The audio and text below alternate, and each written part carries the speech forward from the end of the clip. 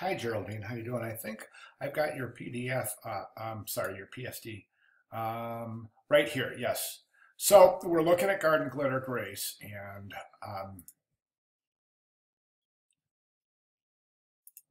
okay. Now we have Garden Glitter. You got this great background here. Good job. And then it looks like you also addressed the type, and um, this is really coming together very, very nicely. I, I, I really like some some of the pieces, parts in here. I think others are are not working, and we'll talk about both what's working and what's not. Okay, so the composition itself, I think this really remains true to what your in, uh, original intent. And if I think, if I remember back correctly, I think wasn't she kind of floating through a garden watering plants? Um, I think that was a cool idea. Um, so I wonder if we could get her to kind of flow through here while no one's looking. This this plant creature kind of morphs and starts watering her, her little buddies in the in the garden. I think that would be cool. So um, I don't know if this is the right background image. I think it's the, the, definitely the right idea, but this is mostly foliage. I think it would be cooler if it would if it would have like flowers and plants instead of just greenery. You know what I'm saying? Um, you know, more like what she has up here, and different kinds of flowers and stuff that she could be watering and taking care of. Um, so the the head looks awesome. I think this is really starting to develop nicely. Um, and then the mouth, I don't know, it just kind of looks like it's kind of puckered. So I, am going to suggest maybe trying to build a different kind of mouth. Um, the body looks great. There's no neck, so it just kind of looks like that pot's floating there. And then the arms, I think the arms look really good too. And the body looks awesome. I wonder if we could give her some kind of buttons just to make some sort of continuation. Now, the legs, the, the creature falls apart from here down, okay?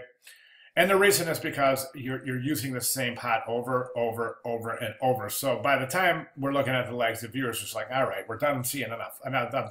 The pot for the body's cool, but come on, let's have some legs here.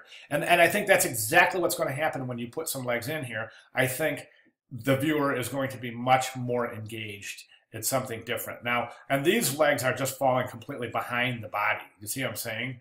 They're not connected to the body or if this is her little her little dress the legs aren't you know the legs could go right in the little dress perfectly there but um, with some masking but right now they're just kind of dangling behind. And the, the the shovel foot is dangling behind that okay? So we need to work that more tightly. The the shovel foot's not working because it just gets lost in in the composition. You can't see it okay?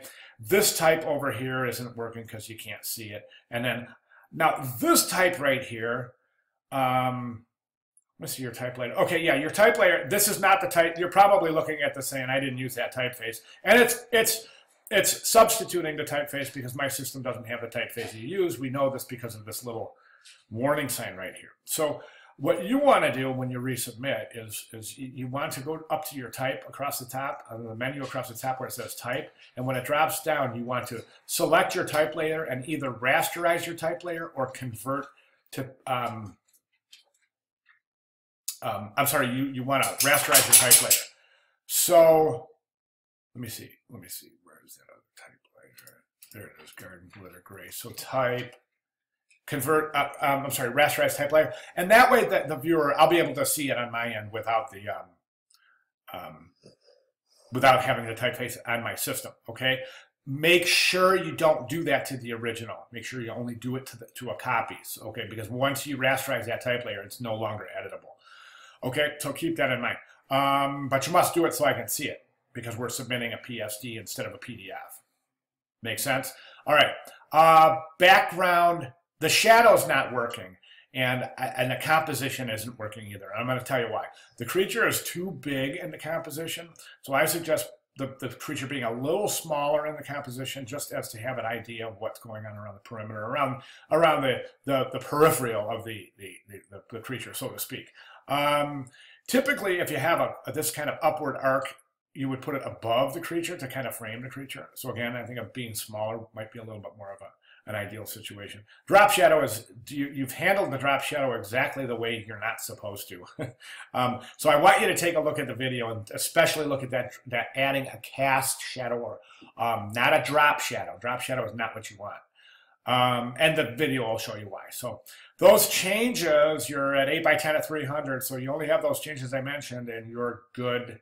Um, Oh, wait a second. A couple of things. These are brought in without um, without masks. Okay, no good. Everything in here has to be with a mask. So in other words, yeah, these are perfect. Yeah, everything else, the masks are great. I don't see a mask working there. There's a good mask. Okay, so just so you know, I, I would check all the layers to make sure the masks are working. So these need to be masked, and that mask, that mask, all the pots are brought in with no background as well. So I'd like you to really, you know, to get all the points that you can out of this assignment, you need to bring in the original image and mask it out in, in so that all, every um, element is, is uh, accessible via a layer mask. Okay, so keep that in mind, please, and then make those changes. Um, other things I mentioned, cast shadow, not a drop shadow, and we're good to go. Okay, sorry I took so long, um, Geraldine, but um, okay, cool, thanks.